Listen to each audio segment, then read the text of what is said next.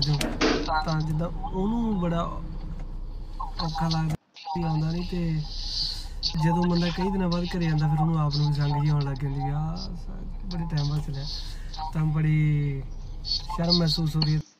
ਕਿੰਨੇ ਟਾਈਮ ਹੋ ਗਿਆ ਮਿਲੇ ਨਹੀਂ ਸੰਗ ਜੀ ਆ ਰਹੀ ਥੋੜੀ ਚਲੋ ਬਾਕੀ ਗੱਲਾਂ ਇਹ ਨੇ ਵੀ ਤੁਸੀਂ ਗੋਡ ਦਾ ਪੋਸਟਰ ਦੇਖਿਆ, ਉਹਦੇ ਵਿੱਚ ਵੈਸੇ ਤਾਂ ਸਾਰੇ ਗਾਣੇ ਸੋਹਣੇ ਹੋਣਗੇ, ਪਰ ਆਪਣਾ ਗਾਣਾ ਤਾਰੇ ਤੁਹਾਨੂੰ ਸੁਣਨ ਨੂੰ ਮਿਲੂਗਾ ਤੇ ਦਲਜੀਤ ਵੀਰ ਦੀ ਐਲਬਮ ਦੇ ਵਿੱਚ। ਤੇ ਉਮੀਦ ਹੈ ਤੁਸੀਂ ਸਾਰੇ ਪਸੰਦ ਕਰੋਗੇ ਇੰਟੈਂਸ ਬਾਈ ਦਾ 뮤직 ਆ ਤੇ ਆਪਣਾ ਲਿਖਿਆ ਹੋਇਆ ਤੇ ਕੰਪੋਜ਼ ਕੀਤਾ ਹੋਇਆ ਗਾ ਦਲਜੀਤ ਵੀਰੇ ਨੇ ਆ। ਤੇ ਹੋਰ ਵੀ ਜਿਹੜਾ ਆਪਣਾ ਸਿੰਗਲ ਟਰੈਕ ਆ, ਉਹ ਵੀ ਬਹੁਤ ਜਲਦੀ ਆ ਰਿਹਾ, ਬਹੁਤ ਛੇਤੀ। ਤੇ ਮਤਲਬ ਜਿਹੜਾ ਆਪਣਾ ਸਿੰਗਲ ਟਰੈਕ ਆ, ਉਹ ਵੀ ਬਹੁਤ ਜਲਦੀ।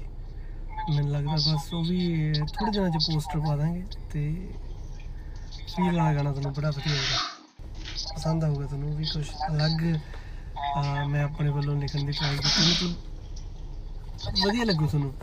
ਜਿੱਦਾਂ ਸੋਹਣੀਆਂ ਗੱਲਾਂ ਨੇ। ਤੁਹਾਨੂੰ ਪਸੰਦ ਆਉਣਗੀਆਂ। ਉਹ ਵੀ ਤੁਸੀਂ ਪਸੰਦ ਕਰੋਗੇ। ਹੋਰ ਕੀ ਮੈਂ ਅਪਡੇਟ ਦੇਣੀ ਸੀਗੀ? ਹੋਰ ਵੀ ਹੈਗੀਆਂ ਦੋ ਤਿੰਨ ਚੀਜ਼ਾਂ, ਉਹ ਤੁਹਾਨੂੰ ਬਾਅਦ ਚ ਦੱਸਾਂਗੇ। ਪਰ ਜਦ ਤੱਕ ਤੁਸੀਂ ਗੋਟ ਦੇ ਗਾਣੇ ਸੁਣਿਓ ਸਾਰੇ ਤੇ ਤਾਰੇ ਵੱਧ ਸੁਣਿਓ ਸਾਰੇ ਸਾਰੇ ਸੁਣੇ ਯਾਰ, ਸਾਰੇ ਗਾਣੇ ਘੈਂਟ ਹੋਣੇ ਆ। ਤੇ ਜਿਹੜਾ ਆਪਣੇ ਦਾ ਪੋਸਟਰ ਉਹ ਵੀ ਆਪਾਂ ਥੋੜੇ ਦਿਨਾਂ ਚ ਪਾ ਦਾਂਗੇ। ਸਟੇ ਟਿਊਨਡ ਗਾਇਜ਼ ਲਵ